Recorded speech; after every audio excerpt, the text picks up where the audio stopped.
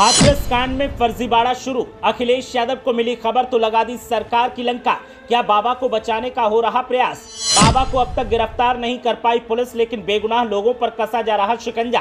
पीड़ित पहुँचा अखिलेश यादव के पास तो खुला राज। पूर्व सीएम अखिलेश यादव ने सत्ताधारियों के साथ साथ पुलिस को घेरा और कह दिया कुछ ऐसा कि अब सियासी हंगामा होना तय है।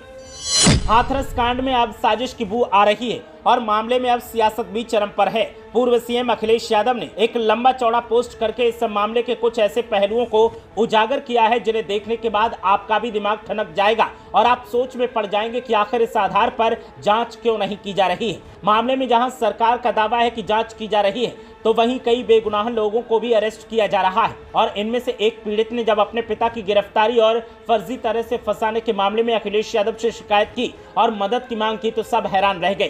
पहले बात करते हैं कि अखिलेश यादव ने क्या कहा। और फिर बताएँगे कि पीड़ित कौन है जिसके पिता को गिरफ़्तार किया गया है। अखिलेश यादव ने सोशल मीडिया पर पोस्ट किया और कहा कि उत्तर प्रदेश शासन प्रशासन हाथरस हादसे में अपनी नाकामी छुपाने के लिए छोटी मोटी गिरफ्तारियाँ दिखाकर सैकड़ों लोगों को मौत से अपनी ज़िम्मेदारी का पल्ला झाड़ना चाहता है। अगर ऐसा हुआ तो इसका मतलब ये निकलेगा कि इस तरह के आयोजन में हुई शासनिक प्रशासनिक विफलता से किसी ने कोई सबक नहीं लिया और ऐसी दुर्घटनाएँ भविष्य में भी दोहराई जाती रहेंगी। शासन प्रशासन किसी खास मंशा से व्यर्थ में ऐसे लोगों को गिरफ़्तार कर रहा है जो मूल आयोजन स्थल से दूर थे और गिरफ्तारी के बाद उनको ही दोषी ठहराए जाने की तैयारी कर रहा है। ये गिरफ्तारियाँ स्वयं में एक षड्यंत्र हैं। इन गिरफ्तारियों की तुरंत न्यायिक जाँच हो, जिससे उत्तर प्रदेश की भाजपा सरकार का खेल जनता के सामने लाया जा सके। अगर भाजपा सरकार ये कहती है कि ऐसे आयोजन से उसका कोई लेना देना नहीं था तो फिर भाजपा सरकार को सत्ता में रहने का कोई हक नहीं है। इस कार्यक्रम में आए अधिकांश गरीब लोग दुखी, शोषित, वंचित, पीड़ित दलित थे।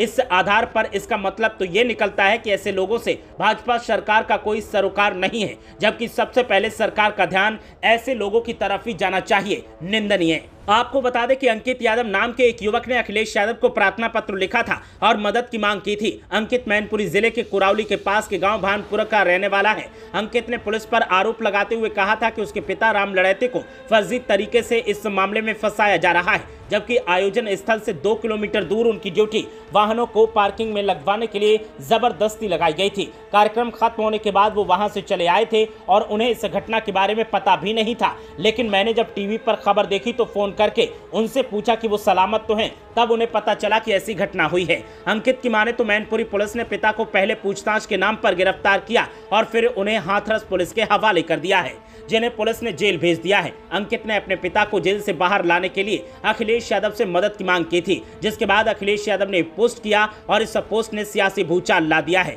उत्तर प्रदेश में हाथरस की जो घटना सामने आई, उसके बाद से लगातार सियासत चरम पर है और विरोधी दलों की तरफ़ से सरकार की मंशा पर सवाल उठाए जा रहे हैं। विरोधी दलों का कहना है कि सरकार आरोपी बाबा को बचाने में लगी है, लेकिन आरोपी बाबा को गिरफ़्तार किया जाना चाहिए और उसके खिलाफ सख्त एक्शन होना चाहिए।